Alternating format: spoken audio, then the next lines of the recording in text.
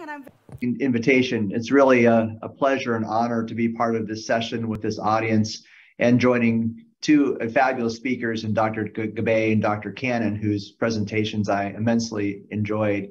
And I think uh, it's interesting that as endocrinologists, cardiologists, and nephrologists, we're really coming together uh, around this concept of improving clinical outcomes for people with diabetes and uh, improving the complications of this disease. And I think you'll find that our recommendations continue to be highly aligned, that we're sending a, a similar message. Uh, my perspective comes from the kidney disease perspective uh, as introduced, and I'll be focusing on what are called the Kidney Disease Improving Global Outcomes or KDIGO guidelines. KDIGO is the preeminent kidney, kidney guideline agency uh, internationally and they've recently issued diabetes and, and chronic kidney disease guidelines, which are being updated this year. And I'll give you a preview of some of the changes and recommendations and new recommendations, which Chris Cannon alluded to as well. Uh, here are my disclosures. I have consulted for a number of companies that make SGLT2 inhibitors, GLP-1 receptor agonists, and other uh, agents that I'll try to talk about in an unbiased and, and fair way. And I just want to take a few slides to address the question, what's the big deal about kidney disease? And the first answer to that is that kidney disease is common in both type 1 diabetes and type 2 diabetes. And I'll show just one slide on that. On the left is from the DCCT EDIC study of type 1 diabetes, looking at the cumulative incidence of albuminuria by duration of type 1 diabetes. And you can see here that in the top line, uh, people who had in, uh, conventional diabetes therapy had a rapid increase in the incident in, in the prevalence of, uh, of, of, albuminuria during the second decade of, of uh, type 1 diabetes with a leveling off around 40%. Uh, with intensive diabetes therapy, that was reduced to about 25%. And on the right, you can see data from type 2 diabetes looking at the prevalence of chronic kidney disease either uh, as albuminuria or low EGFR or either one. And I'll focus on the left here, the either one column. Uh, this is stratified by the duration of type 2 diabetes. And you can see kidney disease prevalence is strongly related to the prevalent to the duration of diabetes and type 2 diabetes as well, uh, exceeding 40% uh, with people who have had uh, 20 years of, of type 2 diabetes. And so from these sorts of data, and there are other cohorts as well, we generally say that about 40% of people with type 1 or type 2 diabetes eventually uh, develop kidney disease. And of course, uh, kidney disease is the most common cause of kidney failure in the world. These are data from the United States, the United States Renal Data System, um, showing the uh, incidence of new kidney failure requir requiring dialysis or a kidney transplant over time from 2000 to 2019 Diabetes is the leading cause, accounting for about half of all cases of kidney failure in the United States. Uh, it's a major impact for individuals who develop this and for the healthcare systems uh, in the US and around the world. And even short of developing kidney failure, chronic kidney disease is an, a very strong risk factor for cardiovascular disease and mortality, as Chris pointed out. And these are data, to, again, from the United States um, looking uh, at the association of kidney disease with all cause mortality over 10 years. This is the absolute risk of, of death over 10 years of follow up. Uh, according to diabetes and kidney disease status, the, the dotted line is the expected 10 uh, year mortality for people with no diabetes or no kidney disease. What you can see on the left side here is that people who have type 2 diabetes but no evidence of kidney disease do have a slightly increased risk of mortality, 4.1% excess risk.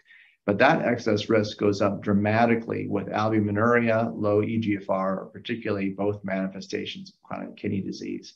And this is attributable uh, to atherosclerotic cardiovascular risk, myocardial infarctions, and stroke, uh, as well as heart failure and other causes of cardiovascular death. Uh, making the point that preventing cardiovascular uh, complications is really critical for people who have chronic uh, kidney disease.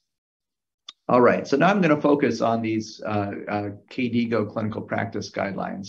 And KDIGO, I noted, has uh, made a number of kidney disease guidelines over time, everything from kidney transplantation to glomerular diseases to complications of CKD like anemia. Uh, and they decided, given uh, this background that I've introduced and all of the new trials and drugs assessing diabetic kidney disease, that it was time for a, a, a diabetes and CKD guideline. And the, this was uh, uh, commissioned in 2017. Um, I had the honor of chairing it along with Peter Rossing, who's an endocrinologist from Denmark. And KDIGO is very rigorous, uh, as is the ADA, in, in, in, developing their clinical practice guidelines. Uh, we had a work group leading this that was quite diverse. In addition to nephrologists and endocrinologists, we had a cardiologist, a primary care doctor, a nutritionist, uh, a pharmacologist, uh, and two patients who were involved from the very beginning who kept our ground our work very much grounded with a, a patient perspective. Uh, these experts uh, came from six different continents and had really deep and complementary expertise in, in endocrinology, nephrology, et cetera. And we were supported by the Cochrane Evidence Review Team from Australia, who did a very thorough evidence review uh, and uh, helped us assess the quality and strength of recommendations uh, using grade criteria. So the first guideline was in, uh, introduced in 2020, uh, published in Kidney International uh, in that year, and it really is quite comprehensive. it addresses comprehensive care of the whole patient with type 1 and type 2 diabetes, uh, glycemic monitoring and targets, lifestyle interventions, anti-hyperglycemic therapy, and approaches uh, to management, including self-care and systems approaches. And uh, these are uh, summarized using this pyramid, which has become somewhat emblematic of the guideline uh, here on the right. And I'm not going to go into this pyramid because after just two years with all of the new data that's come out, as you've heard from Dr. Gabbay and Dr. Cannon and throughout the day, we felt the need to update this guideline in 2022. And we've taken a similar approach, uh, but updated the pyramid. This is not yet published, but will come out in the next month or two uh, in Kidney International. And you can see some themes that are quite similar to what you saw uh, in the prior lectures, including that comprehensive care for people with diabetes and chronic kidney disease should be based on a foundation of lifestyle uh, you can see here diet, exercise, smoking cessation, uh, and weight.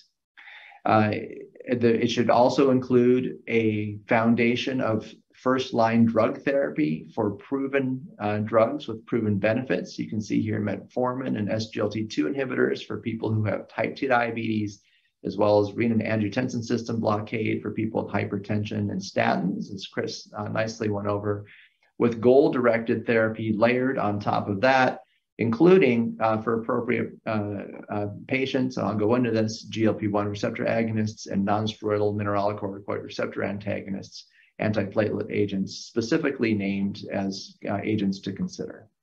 So obviously in uh, this talk, I can't go through the whole clinical practice guideline, but I do intend to touch uh, on lifestyle interventions, the foundation of this care, and then focus largely on some of the newer classes of agents including uh, the evidence behind them and how to select patients and implement those uh, newer therapies and the changes that are coming in the 2022 guideline compared to the 2020 guideline. So there's a lot to consider uh, for uh, nutrition for patients who have both diabetes and chronic kidney disease. Mostly these patients hear about things that they're not supposed to eat and there can be recommendations on anything from carbohydrates to proteins uh, to micronutrients, uh, electrolytes like potassium and phosphate, et cetera.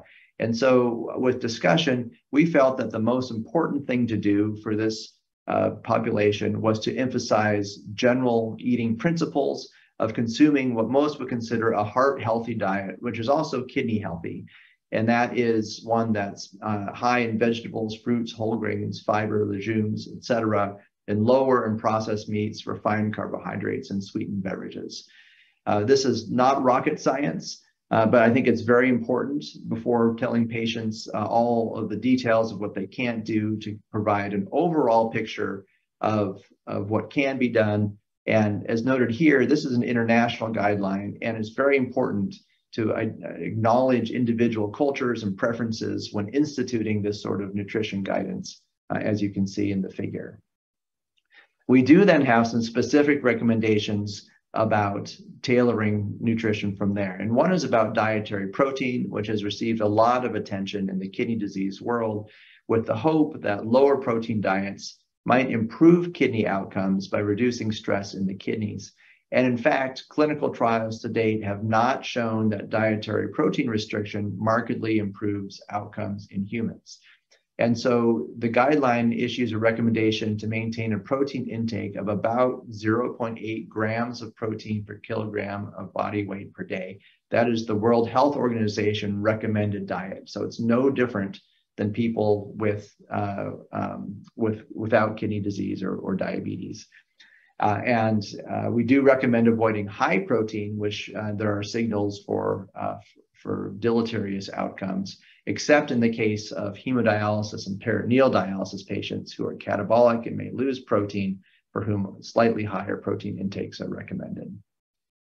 We also recommend low sodium diets uh, and show, uh, as shown here, some approaches to reducing sodium in the diet uh, this is mainly to improve blood pressure and to improve cardiovascular outcomes, which I noted are critical for people with kidney disease.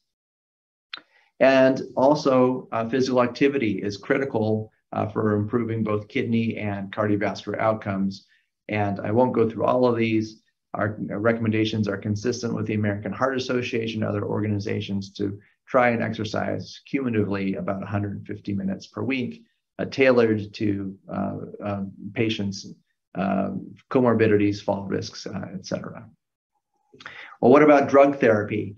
And I have only one slide. I think you're all aware of uh, the importance of renin-angiotensin system in inhibition for people with chronic kidney disease, and Chris covered this as well. Uh, there were really three uh, critical pivotal trials of establishing RAS inhibition as important for people with diabetes and chronic kidney disease. One was the Captopril collaborative study in type 1 diabetes, not shown here.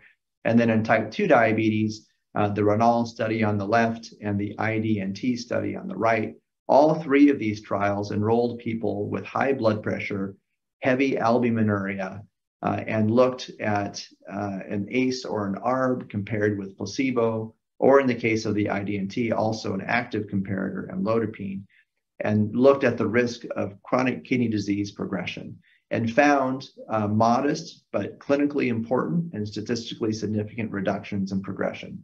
For example, 16% reduction uh, with uh, losartan in the RENAAL study and a 20% reduction in CKD progression uh, with irbesartan um, in the uh, in the IDNT study. So we make a very clear recommendation that for both type 1 and type 2 diabetes patients, if you have hypertension and albuminuria, a RAS inhibitor needs to be part of the treatment regimen to prevent and slow uh, the risk of, of kidney function decline. Now, one thing I also want to point out on the slide is the large residual risk of patients with these characteristics. At four years in the RENAAL study, even in the losartan group, half of patients had substantial kidney disease progression. This is doubling of creatinine, kidney failure, et cetera. Similar in the IDNT study. And so RAS inhibition alone does not prevent, uh, substantially prevent kidney disease progression among people uh, at high risk. And so this is why SGLT2 inhibitors have become so important. And as I alluded to in the pyramid, really part of the new standard of care for people with diabetes, with type 2 diabetes uh, and chronic kidney disease.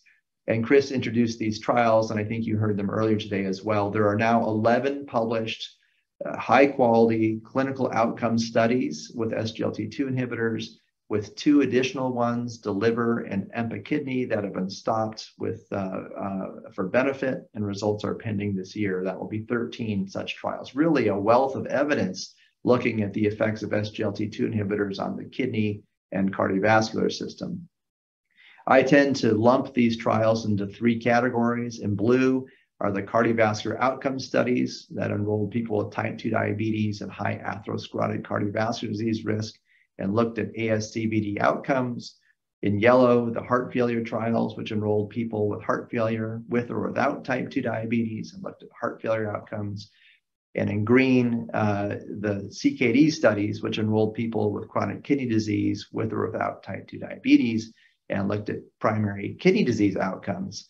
Uh, one ex exception there is SCORED, which enrolled people with chronic kidney disease but look, looked at cardiovascular outcomes. And Chris uh, nicely summarized these results as well, so I'll go through this rather quickly. But the benefits of these drugs are impressive, and they do appear to be a class effect. I agree with uh, the question asked at the end of the last lecture and Chris's response to that. Here um, is the, um, uh, the effect of SGLT2 inhibitors in meta-analysis on heart failure or cardiovascular death. It's grouped first by the category of study, heart failure, uh, CVOTs, and chronic kidney disease studies. And you can see quite um, uh, consistent reductions in heart failure across the populations and within each population across the drugs within those populations, and a 23% reduction in that outcome uh, shown here. Also, an 11% reduction in major atherosclerotic cardiovascular uh, events and very importantly, and one of the reasons that uh, kidney disease is focused on this class of drugs so, uh, so heavily is the 36% reduction in chronic kidney disease progression uh, defined by substantial reductions of EGFR or kidney failure. That's a very large effect. And again, uh, a class effect uh, with, with some outliers, um, but generally uh, um, a, a, class effect, strong differences in, in, in reductions in cardiovascular death as well. So the, the KDIGO recommendation for SGLT2 inhibitors is to treat uh, all patients with type 2 diabetes, chronic kidney disease defined as either elevated albuminuria or low EGFR, and an EGFR of 20 mils per minute with an SGLT2 inhibitor, and that's given the highest level of evidence uh, and, and, strength of recommendation with, with 1A. So uh, in other words, we're recommending SGLT2 inhibitors for the whole heat map uh, of, of chronic kidney disease classification. And that's because these studies that I have described really have covered this heat map with the cardiovascular outcome study uh, covering people with uh, all levels of albuminuria and EGFR of 30 or more. Um, the credence uh, and DAPA CKD studies really enhancing uh, the, these, the evidence for people with high levels of albuminuria and high uh, chronic kidney disease uh, risk. Um, SCORED and the Emperor trials, both pushing down the level of EGFR for eligibility and including patients with lower EGFR, uh, which we'll also see uh, when, data come out from the EMPA kidney study. So there's oftentimes questions about, well, what do you do with people who have chronic kidney disease and uh, with low EGFR but no albuminuria? Well, they're included in this recommendation, both for the kidney and cardiovascular benefits, and there's abundant data to support that. I will note uh, that the 20 mil per minute threshold is something that comes up a lot as well, and that's new from 2020. In the 2020 guideline, KDIGO uh, suggested initiating SGLT2 inhibitor down to 30 mils per minute. In the 2022 guideline, we recommend initiating down to 20 mils per minute. And why is that? The first bullet is probably most important here. Glycemia lowering decreases as EGFR goes down. That's because less glucose is filtered when GFR is low. However, uh, the benefits and risks of SGLT2 inhibitors with regard to kidney and cardiovascular outcomes are preserved across all levels of EGFR and all levels of albuminuria for that matter. And so, despite lower glucose lowering efficacy, the, the clinical benefits are maintained. And then you can see, and I won't read through each of these bullets, but uh, uh, new trials have included people with lower EGFRs. Post hoc analyses of previously uh, published trials have also demonstrated clinical benefits uh, of, of these drugs, um, uh, even at low EGFRs. And in the last bullet, uh, I'll note that several trials, while they've have thresholds for inclusion of participants and starting in SGLT2 inhibitors. The clinical trial protocols included maintaining the patient's on study drug, even if the if the EGFR dipped below the eligibility threshold. And in fact, that's how the KDIGO guidelines recommend implementation of SGLT2 inhibitors for people with progressive chronic kidney disease, that is continuing the drug uh, as long as it's tolerated, even below this initiation threshold. There are a number of practice points guiding the implementation of SGLT2 inhibitors. They're summarized in this slide, and I'll just pick out a few to note. First, in the upper right, um, uh, in follow-up of initiation of an SGLT2 inhibitor, a small dip in EGFR is commonly seen and should be anticipated and is generally not a reason to stop an SGLT2 inhibitor. How much of a dip is okay? Usually uh, up to about 30% seems to be okay based on post hoc analyses of the EMPA-REG and CREDENCE trials. I'll also note uh, in these bottom two rows that in general, SGLT2 inhibitors can be safely and effectively added to existing regimens for glycemic management and uh, volume control, uh, as was done in all of these trials. However, patients who are at high risk of hypoglycemia or volume depletion may need attention to concomitant medications that could cause hypoglycemia or volume depletion, such as diuretics. So more broadly, the KDIGO guideline has this diagram to help guide in, uh, uh in, uh, in glucose lowering drugs for patients with type 2 diabetes and chronic kidney disease. It suggests that glucose lowering should be based again on lifestyle uh, and that first line therapy should be uh, uh should include an SGLT2 inhibitor um, uh, down to an EGFR of 20 is, is noted here, as well as metformin.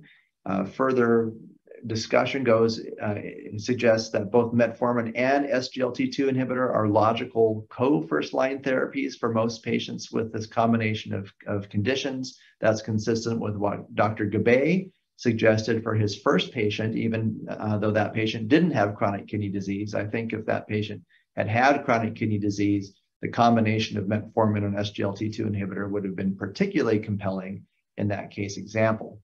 And then uh, for patients who need additional drug therapy to control uh, hemoglobin A1C, glycemia, um, that should be guided by patient preferences, comorbidities, EGFR, and costs but a GLP-1 receptor agonist is recommended and preferred uh, for potential kidney benefits, but mainly for the cardiovascular benefits that Chris outlined as well.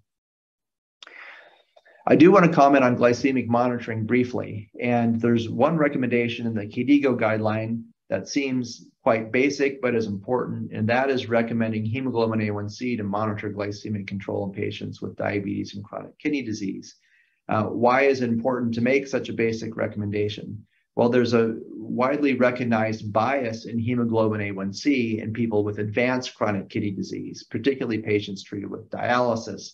And in the lower right here, you can see some of the reasons that patients treated with dialysis have a falsely low hemoglobin A1C on average.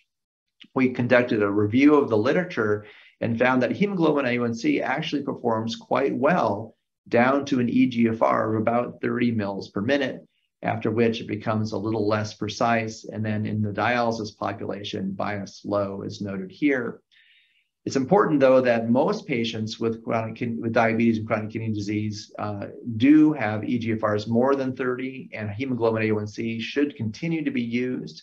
We discuss in the guideline that directly measuring blood glucose, for example, with CGM, is a very valuable uh, adjunct in this population, very logical.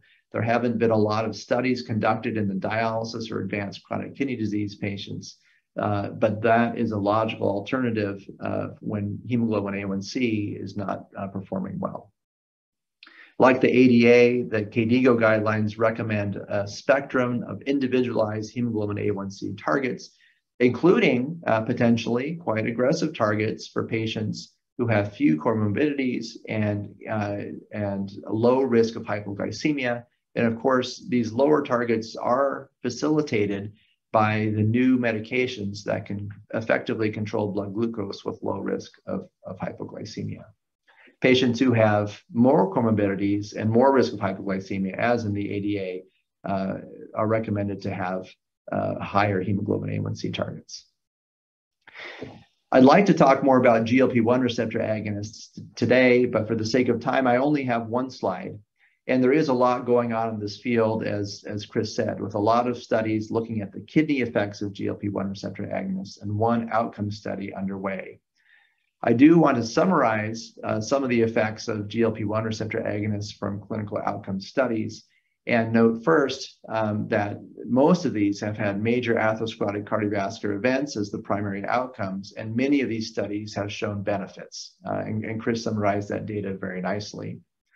Most of these studies have also looked at kidney outcomes as secondary outcomes and found benefit, mostly with regard to albuminuria reduction. Albuminuria reduction is an important uh, uh, intermediate outcome for kidney disease, but it is not an accepted surrogate outcome or a clinical outcome. And what we tend to want to see to really promote uh, new drugs is uh, a benefit with regard to EGFR loss. And as you can see in the second to right column here, in the secondary analysis of these trials, we've had not clear evidence uh, of, of, whether GLP-1 receptor agonists will, in the long term, slow EGFR loss. The FLOW trial is the trial currently underway to address that more rigorously. Uh, and we're hopeful, based on some of the provocative data, including um, uh, benefits in the rewind style for uh, trial for dulaglutide, that we'll see benefits there that will further uh, promote the use of GLP-1 receptor agonists in this population. Chris noted uh, there's a new agent on, on the scene, and that's finerenone. And I will talk about that in a little bit more detail. And uh, finerenone was evaluated in a pair of sister trials called Fidelio DKD and Figaro DKD. This is a visual abstract showing the results of the Fidelio DKD trial.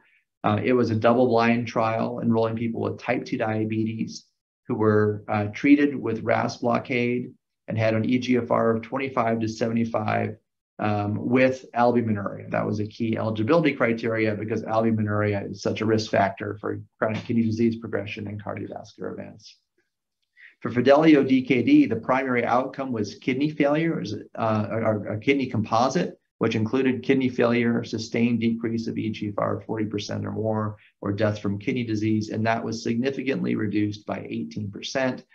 A key secondary composite outcome uh, which was MACE plus heart failure, was reduced by 14%, also statistically significant, uh, with a modest increase in hyperkalemia, a known adverse event for mineralocorticoid receptor antagonists. Um, there were no uh, deaths due to, to hyperkalemia in the trial. I won't show results for the Figaro DKD trial, uh, except to note that it was also a type 2 diabetes population treated with RAS blockade uh, it was at higher cardiovascular risk and lower uh, kidney risk. Also, everybody had albuminuria. Uh, the outcomes were reversed, and, and the cardiovascular outcome was the primary outcome, and it was significantly reduced. And in my mind, this really um, validated uh, the, the, the, the effects seen in Fidelio DKD. So there is a new recommendation in the 2022 KDIGO guideline uh, uh, suggesting a non-steroidal mineralocorticoid receptor antagonist with proven kidney or cardiovascular benefit. Uh, right now, that's just finerenone. For patients who have type 2 diabetes, an estimated GFR of 25 mils per minute or more, normal serum potassium concentration, and albuminuria despite maximum, maximum tolerated dose of RAS inhibitor. And that's given a 2A uh, level of recommendation. Uh, and I view the most likely and most appropriate application of, of this drug uh, as uh, layering on top of, of, standard of care therapy, which includes a RAS inhibitor, which is explicitly stated here, and probably also on top of an SGLT2 inhibitor, for which we now have uh, such uh, incredible evidence and, uh, um, and, including that in, in, the standard of care. And I'll note, as noted in the bottom here, that um, a non-steroidal MRA can be added to a RAS and an SGLT2 inhibitor. Subgroup analyses suggested that the benefits of non-steroidal MRA uh, uh, were similar with or without the presence of an SGLT2 inhibitor uh, at baseline. I noted that hyperkalemia is the most common problem with finerenone treatment, as with other MRAs like spironolactone. And so there's guidance about how to appropriately select people uh, um, for to reduce the risk of hyperkalemia and for monitoring throughout the trial. Uh, essentially, uh, we recommend that uh, you select patients with potassium of 4.8 millimoles per liter or, or lower and have regular monitoring with dose adjustments and holding finerenone as needed uh, throughout treatment. It is very important to think beyond lifestyle and drugs uh, to other ways to improve outcomes in this high risk population. And self care is, of course, very important. And the KDIGO guidelines uh, take a nod to the ADA guidelines in recommending structured self management education programs to improve diabetes knowledge, self management, reduce uh, risk factors for complications, uh, and, uh, and improve emotional and mental well being for patients with diabetes and chronic kidney disease. This is an important aspect of care not to be overlooked. And uh, these are complex patients, as, as Dr. Gabbay and Dr. Cannon said nicely. And in order to effectively deliver the interventions that we now have that are effective, we really need uh, systems level approaches, uh, integrated care, supported uh, by decision makers and delivered by a diverse group of providers to identify appropriate patients uh, for implementing these therapies and getting them to the people who need them most to improve outcomes for the population. I'm going to summarize, uh, or before I summarize, I'm going to note that there are a lot of clinical practice guidelines out there. Uh, this can be overwhelming, and sometimes people focus uh, on what they perceive as differences in the guidelines uh, to, to suggest that there are, are problems um, um, or, or, reasons not to implement these. And I want to start uh, by noting that uh, there are, indeed there are a lot of guidelines out there. They really are, in my mind, uh, quite similar, complementary, and aligned. And recognizing this potential concern, um, KDIGO and the ADA partnered over the last year to write a consensus statement about management of patients with diabetes and chronic kidney disease. And our charge really was to look at the two guidelines, the standard of care for 2022 and the KDIGO guideline uh, for 2022, and, uh, and look and see where they're aligned, where there are any discrepancies. And, and I'll say they're almost fully aligned. Uh, and you heard, uh, I think, similar statements and recommendations from Dr. Gabbay, Dr. Cannon, uh, and I. And um, and I, they really are pointing towards the, the, same direction. This is a flow diagram that the group came up with um, to highlight the high priority shared recommendations from the two organizations. Uh, it looks familiar to what you saw uh, in Dr. Gabbay and Dr. Cannon's presentations and uh, sort of like the pyramid that I showed in the beginning of this talk, but the other way around from, from top to bottom. And uh, notably, uh, as always, management uh, rests on lifestyle modification. There are important first line drug therapies that are proven to improve outcomes. And those include for all patients, uh, statins. This is all patients with diabetes and chronic kidney disease, I should emphasize statins, uh, RAS inhibitors for people with albuminuria hypertension, for people with type 2 diabetes, who are shown in this color box here. Uh, SGLT2 inhibitors um, with metformin are considered uh, first line therapies.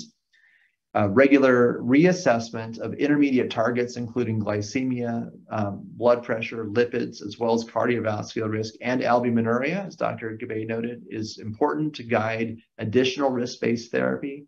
And you can see that GLP-1 receptor agonists, non-steroidal MRAs, uh, and some of the important cardiovascular agents that Chris was talking about, antiplatelet agents, ezetimibe, PCSK9 inhibitors, et cetera, are, are um, recommended in that uh, alignment as, as, well. So this, I hope, is a, useful figure, will be published in the next uh, couple of months that summarizes some of the high priority uh, consensus approaches to improving outcomes for people with diabetes and chronic kidney disease.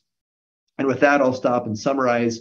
Um, I'll note that uh, this KDIGO guideline, uh, the 2020 version is currently available. The 2022 uh, will be published in the next couple of months. It really does provide recommendation and practice for point, points on a, a wide range of, of care for people with diabetes and CKD.